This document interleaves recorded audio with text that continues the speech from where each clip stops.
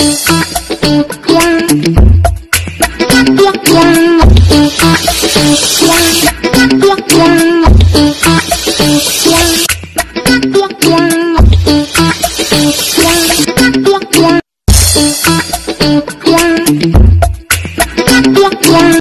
guys! Welcome to my YouTube channel! Today is araw ng swab test. Papaswab test ako. Go daw, go. Sabi mo, hi! Hello! Bago mag bago kami pumunta, bago pumunta sa swab test, ma magwi-withdraw muna ako. Pupunta muna ako sa bangko. Withdraw muna. Kaso umuulan. Umuulan. Ayan. Umuulan po sa labas.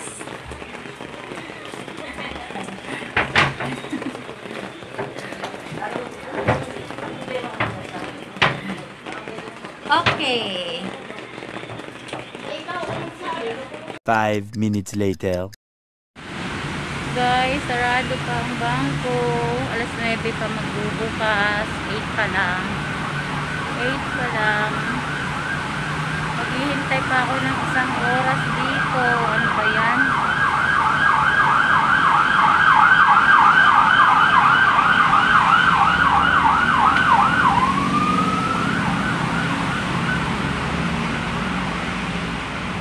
Maghihintay ng isang oras. Guys. Time check. Oh, 9.50 na. 9.50. So, ang tagal ko po dun sa bangko. Kasi, nagbili po ako ng dollar para sa baon ko. Baon ko siya, pangkain ko sa biyahe ko.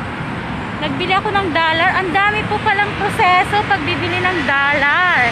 Ang daming pinipirmahan. Lahat ng ID ko, ano, hinahanap. Eh, ang dala ko lang eh, yung humid ID ko. Pero, ano po, mara yung record ko po sa bangko, nandoon yung mga passport ko, yung TIN ID. So, kinuha na lang nila yun sa re record ko. Ang dami po palang pipilapan pag bibili ka ng dollar sa bangko. Kaya ang tagal ko po doon. So, dumating ako sa bangko ng 8.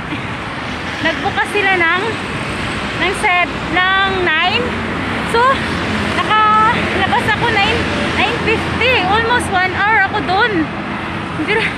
Akala ko po, akala ko guys, once na magpapapalit ka ng dollar, eh, sandali lang ang proseso. Ang dami rin palang pipirmahan. At saka kailangan, ang dadalhin nyo talaga yung passport nyo. Passport nyo, kasi yun daw, yun daw talaga pag magpapalit ng dollar, yun daw talaga ang hinahanap nila.